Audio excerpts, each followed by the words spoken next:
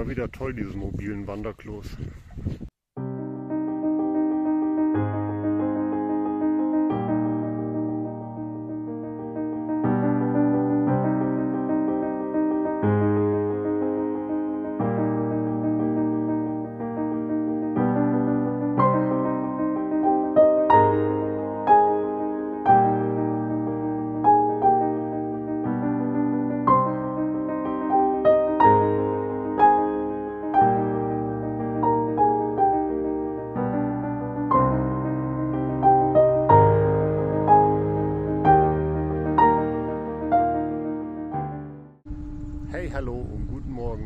Wieder ein bisschen unterwegs und nehme euch gleich mal mit hier.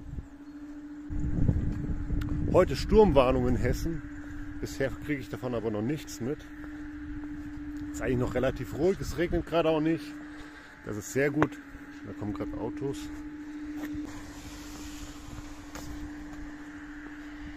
Das nächste Auto. Gucken wir hier hin. Vorne ist auch ein See, der Vordersee. Jetzt reicht's aber, wo kommen die denn überall her? Gibt's doch überhaupt nicht. So, da vorne ist der Vordersee. Vielleicht laufe ich da auch mal hin, ich weiß noch nicht. Ich laufe jetzt gerade hier mitten auf der Straße rum. Ich gehe, glaube ich, mal lieber auf die Seite. Das ist wunderschön hier. Na, was wollte ich erzählen? Ich habe gestern oder die letzten Tage viel mit mir gekämpft, innerlich. Also jetzt nichts Schlimmes oder so. Aber ich war letzte Woche mit meinem dahingerotzten Video überhaupt nicht zufrieden. Ich war ja letzte Woche in der Rhön unterwegs und habe öfters versucht, ein Video aufzunehmen. Ich wollte eigentlich über Peinlichkeiten sprechen, über Scham, über Sachen, für die ich mich schäme aus der Vergangenheit oder über peinliche Situationen, die man erlebt. Aber ich kam da überhaupt nicht. Es hat überhaupt nicht geklappt. Und was dann übrig geblieben ist, war dann nur noch das hingerotzte Video im Auto. Sehr, sehr schlecht. Ich bin mit meiner Qualität der Qualität meiner Videos, was ist das hier für ein Weg?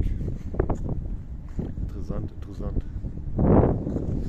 Überhaupt nicht zufrieden. Die Qualität ist zu schlecht. Ich kann, nicht, ich kann mich nicht gut konzentrieren beim Erzählen. Wenn ich ein Skript schreibe, wirkt das alles abgelesen. Also ich habe große Selbstzweifel, was das angeht, meine Videos. Keine Ahnung, ich bin unzufrieden und habe überlegt, ja gut, ich lasse es jetzt sein. Für dieses Jahr mache ich erstmal Pause. Ich habe die Nacht jetzt nicht so viel geschlafen. Vielleicht auch deswegen, weil ich das noch hinter mir lassen wollte, erstmal Abstand gewinnen. Aber jetzt wollte ich heute Morgen doch irgendwie, ich hatte den Drang rauszugehen und ein Video aufzunehmen. Deswegen mache ich das jetzt auch. Aber was soll dabei rumkommen, das wird sich zeigen. Ich habe eigentlich noch genug Themen, die ich bearbeiten möchte. Ich habe natürlich jetzt meine monatlichen ähm, Filmtagebuch-Videos. Ich habe diesen Monat auch schon wieder relativ viele Filme geschaut. Aber ich verliere jetzt auch langsam wieder die Begeisterung oder die Lust daran, Filme zu schauen. Oh, ich kann ja außen rumlaufen.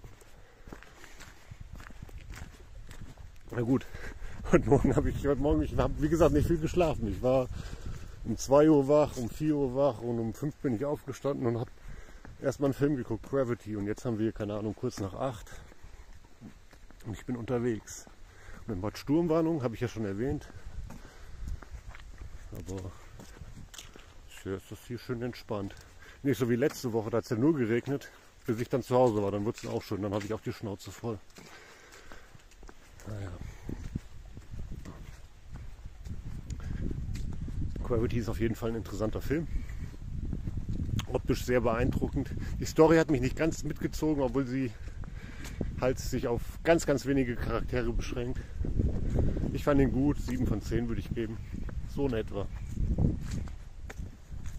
Aber wie gesagt, momentan kann ich mich auch nicht mehr so ganz so für Filme begeistern. Ich glaube, ich schraube das jetzt deswegen mal ein bisschen wieder zurück. Lasse es erstmal ein bisschen sein und ja. darf ich auf die Wiese laufen?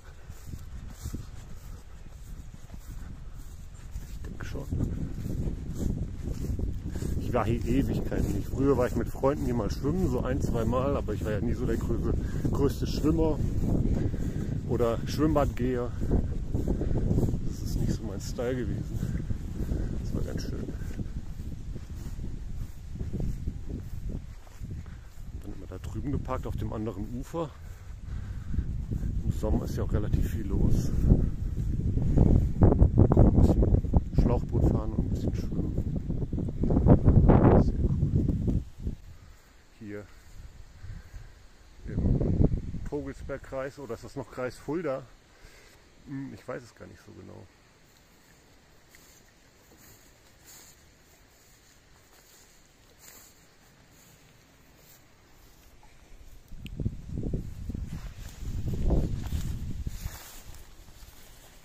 Laufen wir mal hier Schild.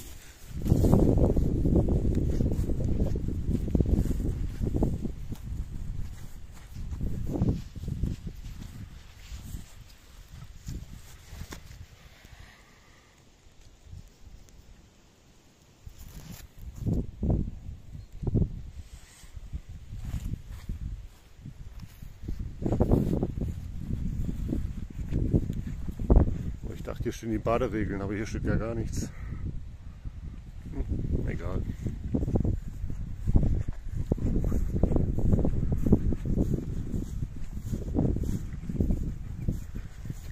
Ja ein Baggersee. Ich kann mir nicht vorstellen, dass das ein natürlich entstandener See ist, weil wie wir ja schon bei dem Kartuser Seeloch gelernt haben, gibt es ja in Hessen gar nicht so viele ganz natürliche Seen. So ist das halt. Vorsicht, Blätter.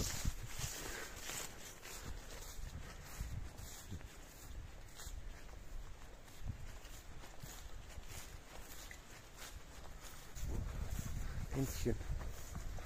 Nein.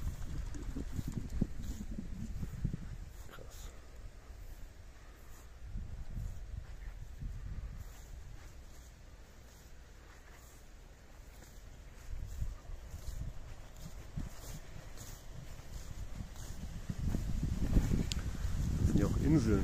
Also so ein paar Bäume, die da vorne stehen.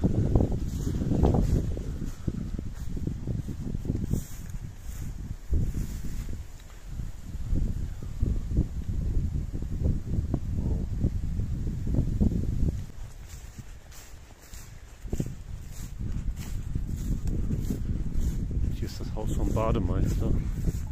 Oder Schwimmmeister heißt das, glaube ich, offiziell. Habe ich in dem eher nicht so guten Film Beckenrand-Sheriff gelernt.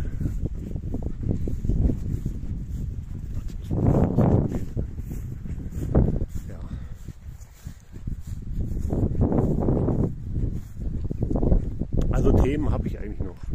Wie gesagt, meine Filmtagebücher wenn ich jetzt wie letzten Monat 42 Filme gucke, ist es natürlich schwierig, zu jedem Film noch was zu sagen. Ich möchte die Videos auch nicht zu lange machen. Und wenn du so viele Filme guckst, dann kannst du dich auch nicht mehr an alles erinnern. Also ich kann mich schon oder in so einer kurzen Zeit das alles zusammenzufassen. Und ich möchte das am liebsten in einem Stück machen, in einem Rutsch, damit das irgendwie einen gleichen Rhythmus hat oder einen, einen Style, der zusammenpasst. Dann möchte ich natürlich noch ein eher informativeres Video machen über Streunerkatzen, über Kastration, das ist, wie viele Katzen mittlerweile abgegeben werden oder Haustiere allgemein. Natürlich, viele Leute haben weniger Geld, aber dann lasst doch eure Katzen wenigstens kastrieren. Das dieses Leid, was da abgeht, ist schwer zu ertragen. Wirklich schwierig. Dafür müsste ich aber mal wirklich recherchieren und mir einen Plan machen und nicht einfach irgendwas dahin labern, so wie ich das jetzt hier mache. Und da drüben steht auch ein Wohnmobil. Da hinten ist auch eine Entenfamilie, aber dafür bin ich zu weit weg.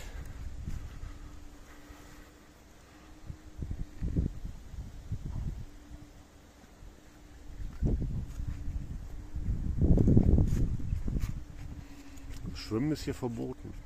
Ich weiß jetzt nicht, ob das allgemein hier in einem See mittlerweile verboten ist. Früher war es zumindest noch erlaubt. Aber vielleicht hat es auch nicht für den gesamten See gegolten. Keine Ahnung. Okay, jetzt hat es doch ein bisschen zum Regnen angefangen. Kann ich noch mal eine Kapuze aufsetzen.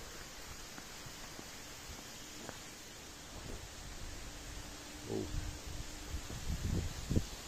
Ich glaube, jetzt kommt, jetzt zieht auch ein bisschen der Sturm auf. Es wird ein bisschen windiger. Ich dachte, jetzt kommt ein Auto, aber es ist einfach nur der Sturm, der hier ein bisschen übers Land fegt.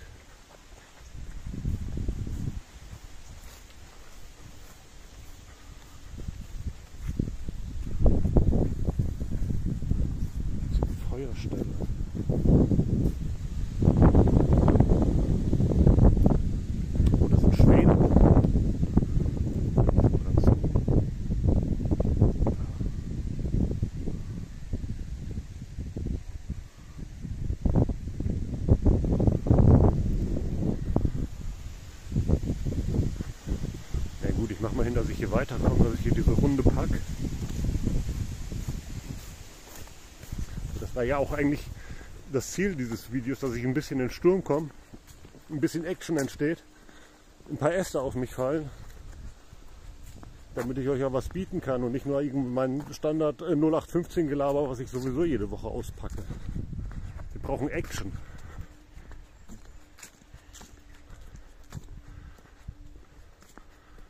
Ein One-Shot First-Person-Action-Movie aufgenommen mit der Smartphone-Kamera eines Mittelklasse-Handys. Ich muss gerade die Linse sauber machen.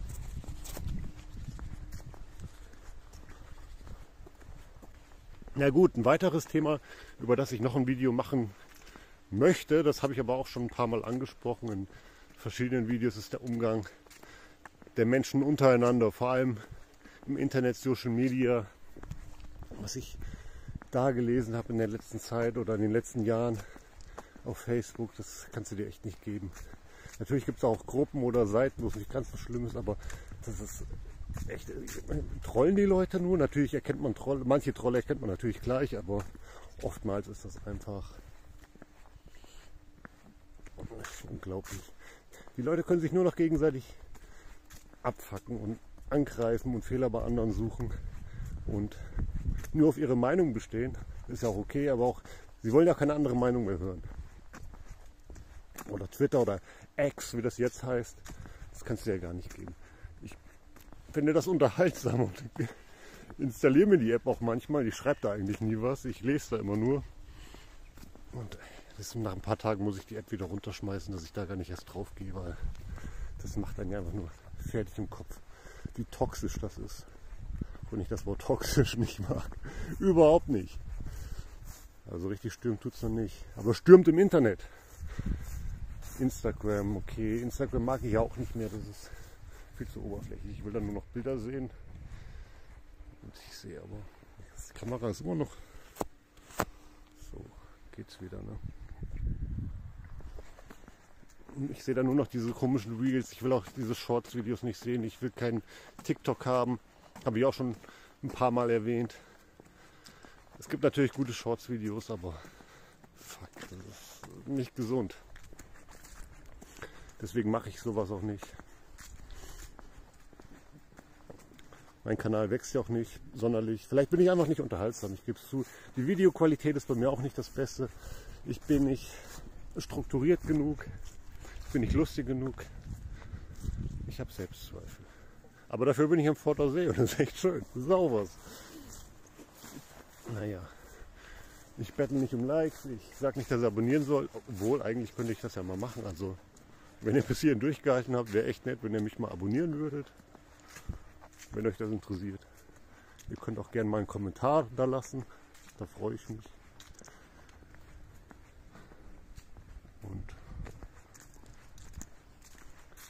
Dürft das Video natürlich auch liken. Und das Abo ist natürlich kostenlos. Das ist auch wieder so ein richtig dämlicher Satz. Natürlich ist es kostenlos. Obwohl mittlerweile geht es ja so weit, dass ähm, viele auch dieses, diese Mitgliedschaften anbieten, also sozusagen ein, ein Pro-Abo mit Zusatzinhalten. Oder, dann werden aber auch mal Emojis oder irgendwas angeboten. Das habe ich sowieso nicht verstanden. Warum soll ich dafür Geld bezahlen?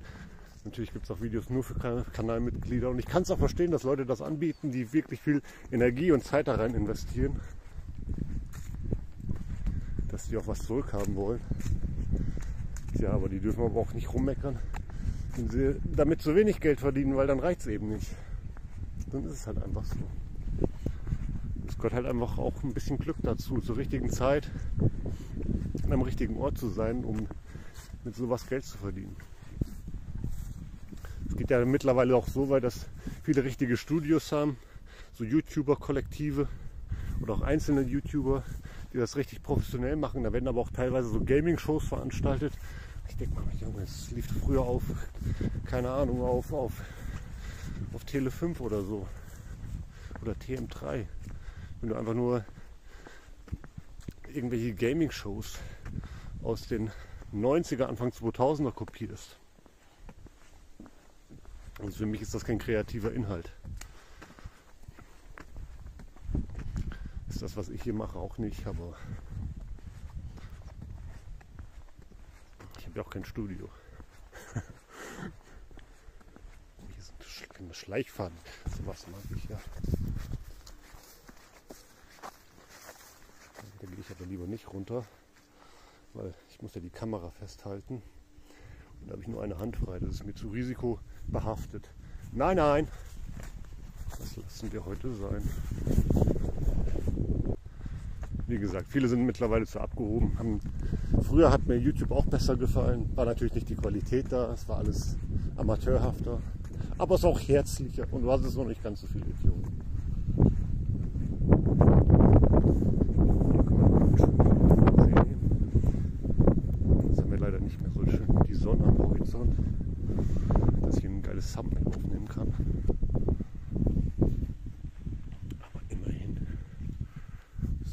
Hälfte haben wir schon geschafft. Das Video wird wieder viel zu lang oder ich muss viel schneiden. Ich bin ja immer ein bisschen schneidefaul. Ich würde sagen, ich muss keinen Müll aufheben heute. Aber hier liegt was. Lass ich es liegen. Ja, tut mir leid. Ich habe hab überhaupt was dabei zum Müll aufheben. Ich weiß es gar nicht. Also Müllbeutel habe ich auf jeden Fall. Im Rucksack, die habe ich fast immer dabei. Aber ich weiß gar nicht, ob ich Handschuhe habe. Obwohl, das könnte ich auch ohne Handschuhe aufheben. Aber könnte ich auch einfach so in die Tasche stecken. Komm, ich nehme das jetzt mit. Jetzt finde ich es nicht mehr.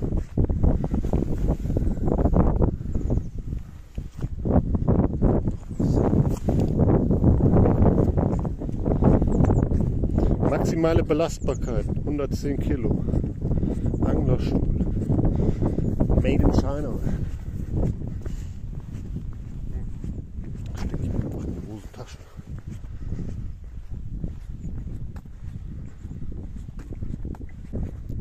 Fühle mich momentan nicht wohl. Auf meinem Kanal. Ich bin natürlich froh, manche Videos kriegen für meine Verhältnisse relativ viele Klicks. Das freut mich, aber ich glaube, das reicht dann auch nicht, um mich zu abonnieren. Deswegen, ich weiß auch nicht. Ich mache das natürlich auch größtenteils für mich selbst.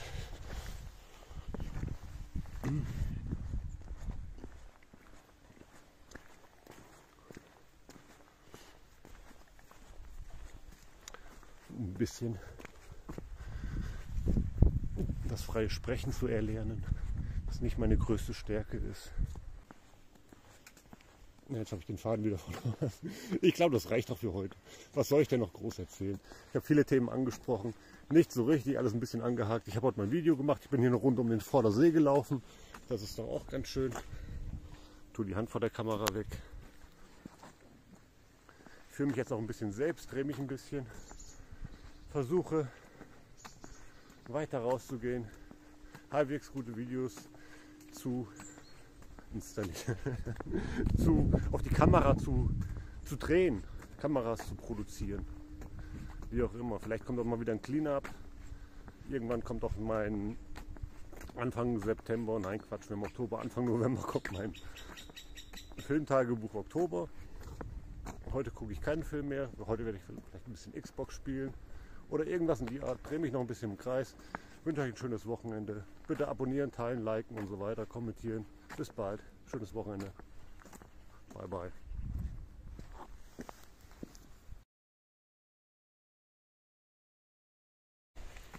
Ich habe meine Runde fast geschafft. Es ist ein bisschen windiger geworden, aber der Regen hat wieder nachgelassen. Ich habe noch ein bisschen Müll gefunden. Prost Leute. Da ist die Brücke. Hier ist der See. Und ich habe noch mehr Müll gefunden. Die Flasche war sehr gut getarnt eben. Bardau, echt. Tschech. Alter, dann nimm die Flasche doch mit. So, ich hau jetzt ab. Das ist eine Dose, aber da komme ich nicht ran. Privatgrundstück. Naja, reicht ja auch. Ey, warte, nehme ich mit.